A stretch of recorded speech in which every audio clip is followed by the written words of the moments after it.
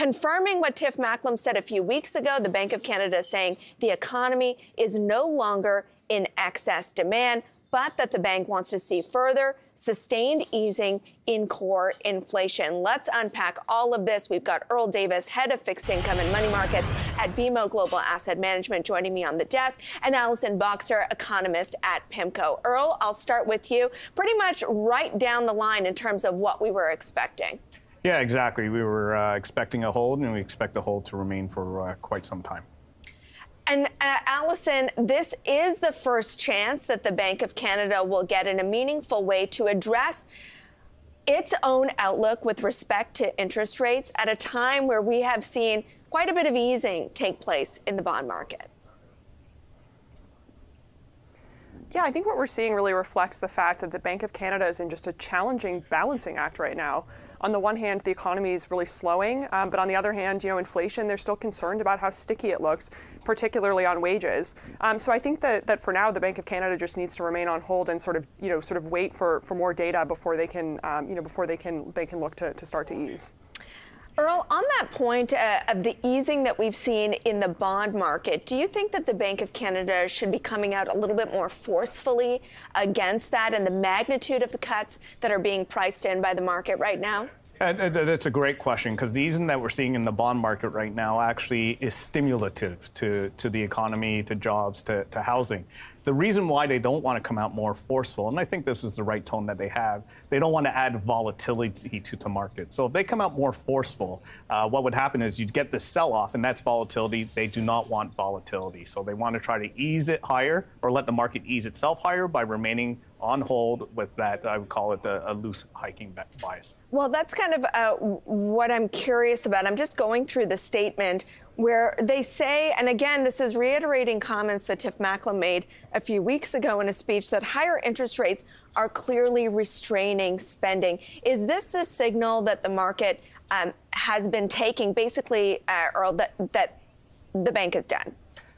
Yeah, I, th- I, think the signal didn't necessarily come from the Bank Canada. It came from the Fed and Powell and the, and the strong yeah. on hold at the end of October. That's where we saw the significant rally in rates and, and, and the like. So it's actually reducing the impact of high rates because market rates are discounting, you know, 100 basis of hikes by, by October and the, uh, sorry, of eases by October and the easing cycle starting in April. So uh, they're offsetting that. In some ways, we're in the hardest part of monetary policy, Allison, uh, with the bank referencing that core inflation is still around three and a half to four percent, but the economy is showing material signs of deterioration, particularly on the unemployment perspective. This is where the bank really has to walk that line between dealing with inflation but not tipping us over into a worse slowdown than necessary.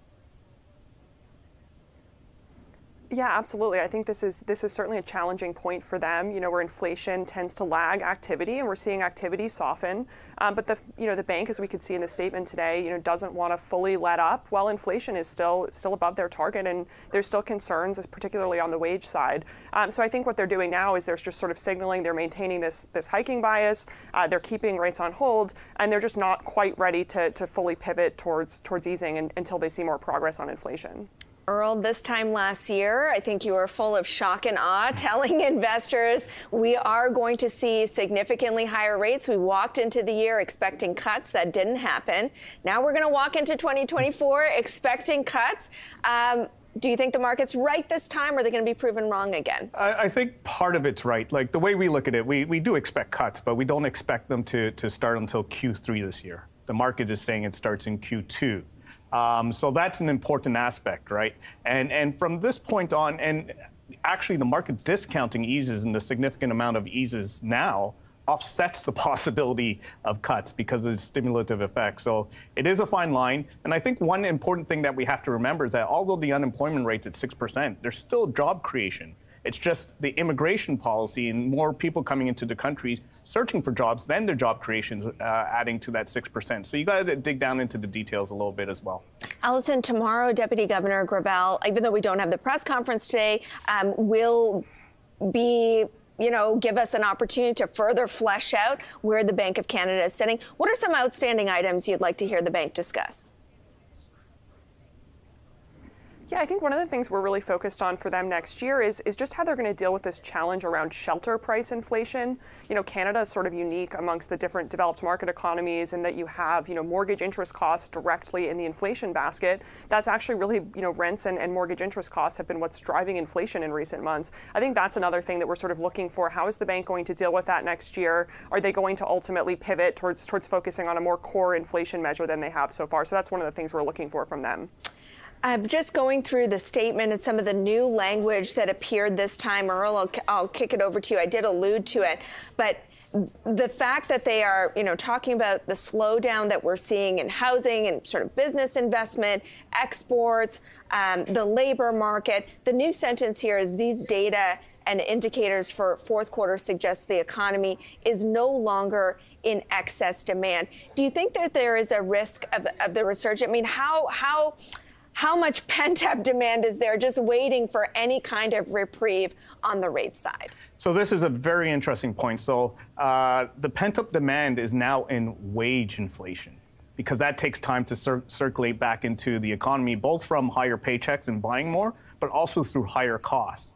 So now we're in a bit more of an insidious uh, inflationary aspect with wage inflation. And that's what they're trying to, that's why we, they're happy to see unemployment rate at 6%. I think they want to get it closer to six and a half uh, before they start easing and core under three before they start easing so that, that there's some slack in the, in, in the employment picture and that uh, limits the wage increases to 2 3%, the target rate of inflation, as opposed to the 5%, you know, and that, that's what they're trying, trying to offset.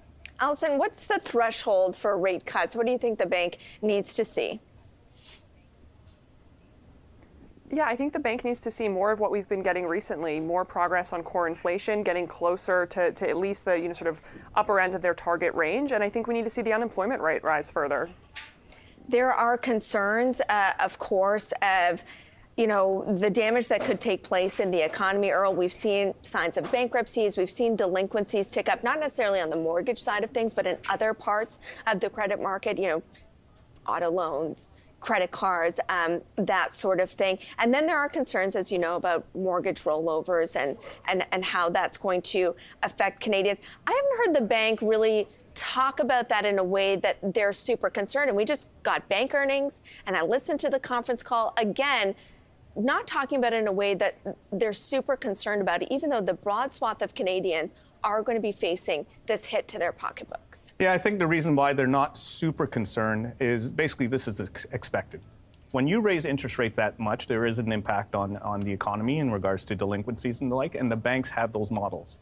They would get concerned if those delinquencies start to accelerate and they go above the model based off of where interest rate is. So that's why you're not seeing the concern as of yet. All right.